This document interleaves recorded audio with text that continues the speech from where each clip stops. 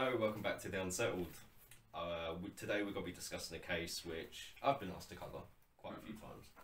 Oh Um, yes, there is a lot of uh, messages and traffic to ask us about the case as well. And as much as I didn't want to do it, I've put it off until season three. Yeah. It's much like most of the Yeah. others in season three, I put off. You know, for season three, Yeah. especially for season three. Exactly. So, if you're new here, we discuss unsolved crimes, murders, mysteries, fantasies. Mm. Sometimes mythology, and a lot of cultist and uh, macabre aspects of Crimes. crimes and catastrophes and mm, Anything weird. yeah. So if you're new, don't forget to like the video. If you like it, that is. Um, subscribe, obviously. You know, we are the unsettled. And hit the notification bell for all up and coming videos. See? And drop a comment below your thoughts and opinions. So, in this case, we've got to be discussing the Somerton Man. You're excited, aren't you? I am. You like this one, I do. right? On the morning of the first of December, The morning. an unidentified man was found dead on Somerton Beach, just south of Adelaide. He is usually referred to as the Somerton Man. Six weeks later, a suitcase, apparently containing the man's property, was retrieved. Mm, Mm. Interesting. From Adelaide Railway Station's cloakroom, where it had been deposited at around 11am the day, possibly before this man's death. You would expect Mm-hmm. them to deposit if he worked alone. However, apart from three items marked Keen, Keen, and T Keen, all said differently in Keens, exactly, nobody with that name was ever missing or dead. And there was nothing indicating that the man's identity was found among the belongings.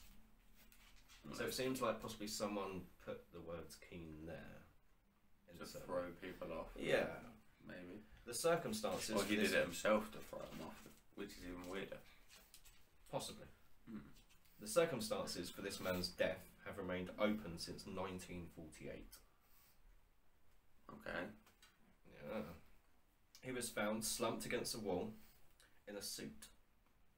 A cigarette half burned on his lap, the labels in his clothing removed. No, not the labels again. We Well, can't keep jumping to spy. Like We can. We can, we can. What makes this case stand out is the fact he wore a suit to a beach. Yeah. Very odd. Mm. Many that day. Not counting the half cigarette on his lap. no, I mean, you could spark up a cigarette and fall asleep. True, but it it. would burn down I've done it. technically. I've done it. Burn It's your weird. lip as well. Mm. Mm. Mm. Mm. Many that day noticed the man and found his appearance odd. As you would. Yeah. Many thought the man was drunk. It wasn't until the next day a pair of horse riders investigated further. Mm-hmm. horse riding along a beach. Okay. Sounds a bit sexual, really. I didn't think you could do that anymore. That's usually donkeys. The Somerton man had not been shot or stabbed. He was clean shaven, indicating he wasn't, I guess, homeless. Yeah. You, You know. you would say that. And there was no injuries on his body at all. Interesting. Right. He had on boxer shorts, a man's singlet. It's like he's a wrestler. Okay. yeah. A white shirt, a red tie, light brown trousers, and a sweater to match. His shoes polished, and his trousers had seemed repaired by an orange thread. Posh. Seems a bit that way. His pockets consisted of a railway ticket to Henley Beach, a bus ticket to North Glenelg, Mm. an American metal comb, a packet of juicy fruit chewing gum, Okay. mm, I'll never be able to eat them again. a packet of Army Club cigarettes containing a different brand of cigarettes. Interesting. Many people have done that. You know, like you, you get the tin and you get the packet and you replace it, bit you top it up. If you like the packet, you know what I mean. A handkerchief and a packet of matches. At least he got his hanky. Yeah. The man had athletic legs. Okay. So his calves were really Muscular muscular, legs. yeah. Right. He was around 40 to 50 years old. His feet were oddly angled as though he did ballet. Mm, okay. So it's not his, unheard of. So I'm not his going to toes judge. kind of pointed a certain way. Hmm. Okay. It's a bit weird though. As I stated, no tags on any Ballet clothes. man murder. As I stated, no tags on any clothes. It was all cut off. He had no money, no wallet, or no ID. Okay. So there's es- definitely theft involved. Of at least the money, the wallet and stuff, maybe. Maybe, or maybe he got rid of it after he killed himself. After oh, after No, he he- killed before himself, he he killed threw it in the bin. Maybe, maybe he took a couple of pills. You get the idea. Yeah. You get the idea. The estimated time of death was 2 a.m. The body had not been moved at all after his death. Okay. The man's pupils were rather small, though, and oddly shaped. Okay. Yeah, I've really looked into this case. Hmm. Right. He had blood in his stomach, which many in the medical field pointed out was possibly poison, but tests proved otherwise. Yeah, but there are some poisons that go I'll get as to that. yeah. When lead investigators, to, be- uh, which led investigators to believe he may have ingested digitalis or strapha, straphatin, straphatin, Straffatin. Yeah. some weird drug which disappears in your body. Yeah. Right. It, it gets absorbed and. So they're two, yeah, they're a- two lethal poisons that Yeah. don't leave a trace. mhm. Okay. So far, so good. Interesting. You enjoy the Somerton man. Attempts to identify the man failed. No fingerprints on any system, although coroners say the man died of heart failure. Mm. Right. Again, so those toxins do bring about heart failure as well. One thing I forgot to mention was that orange thread on his trousers was also found in that suitcase that they recovered. Okay, so he repaired his trousers himself. It's not unheard so we can of. safely say that the suitcase that they retrieved he was definitely his. living. Yeah. Okay. Was his, okay. Several months later, while more investigations went underway, a small pocket was found sewn into his waistband, a folded piece of paper that read the Taman Shud, a shard, shud, shud, Taman Shud, shud, Yeah. which means it's finished or it's ended, was found. So they found a small piece of paper which Weird. found that. Hmm. Mm. That's weird. The words paper was written in distinctive script and was torn out of a rare New Zealand edition of the Ruby. Hmm. Oh, here we go again. I'm gonna butcher this, but it's the Ruby Gat of Omar Kahim Kayom, the Okay. 20th century work of poetry. Huh. I might as well just said that. Okay. Yeah. Yeah. Might have just found it. you it didn't have to do the tile. No, it's, yeah, it was found in a 20th century book of poetry. There you go. There's no point. I could just about read English, let alone foreign words. they looked everywhere for the book, which matched the same writing, etc., until a man came to the police station with the copy. okay. So someone's come With up the copy. with the copy of the book, Okay. with the bit ripped out. Oh. Oh, that's weird. Yeah. To the So police, that means he'd done it in a store or a library, and that's just theft. it gets weird. to the police's excitement, the book contained the missing piece of paper, so it was a bit that was missing. It was a bit. Right, yeah. It had been ripped clean out. The man who brought the book in claimed he didn't know the man or knew anything of the poems. The man said around December the previous year he took a trip to the Somerton beach. The man and his brother found the book. It wasn't until the police wanted those who owned the book to come forward the brothers investigated and found the copy they had found. That's weird. Right. Inside the book they It's found been, it's been sitting there for a whole year. pretty much. so inside the book they found two unlisted phone numbers and faint lines of a code. okay. Right. Oh, so this is the spy bit. The first number was a dead call. The second, the police tried, led them to a young nurse named Jessica Ellen Jo Thomson who lived on Somerton Beach. Oh, that's weird. Yeah, it gets good. It gets Mm. good. It's juicy. She was reluctant to speak to the police and later admitted Ooh, to having as an ex. later admitted to having gifted the book to a man named Alfred Boxall. But when police followed the lead, they found Alfred Boxall alive and well and had the same book Jessica had given him still in his possession. Oh, that's weird. Right. That's even that's creepier. Although Jessica said she didn't know the Somerton man, she gasped and went white and was taken back when shown his picture.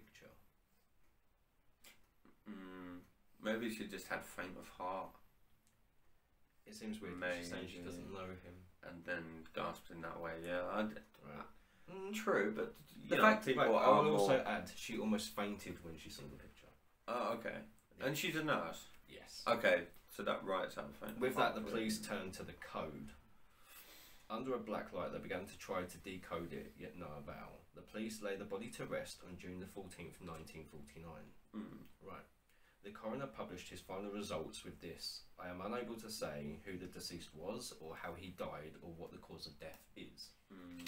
Does that seem suspicious to you? Not really. You, The fact we've, 2 we've got- found a book in their possession, they that's have no weird. idea how they That's found it, on weird. Somerton Beach. yeah, that's weird. The fact this woman, who was a nurse, almost fainted at the sight of the Somerton man. that is also very weird. Right. So the theories. The internet's most popular theory is the Somerton man killed himself after being rejected by Jessica. By the nurse. Right. Thoughts suggested was that she had a son with the Somerton man due to the similarities in appearance. Mm. So the two links: poison. Jessica handed him the book. Well, not necessarily if the if the other man had it, then The man obviously got the book from somewhere. yeah. She handed out this book quite often. Mm. 20th century poetry book. It's very rare to have that book. To have two copies of it is rarer. Right, so the similarity connections were to Jessica's son and the Somerton man. Mm-hmm. and the poetry book. Right, we go with the son first. Okay. They have the same appearance. The Right. teeth, genetically, there's a genetic issue with his teeth. Yeah, I've I've got the same. It's called crumbling teeth. It basically did. Wrong. I'm gonna be wrong.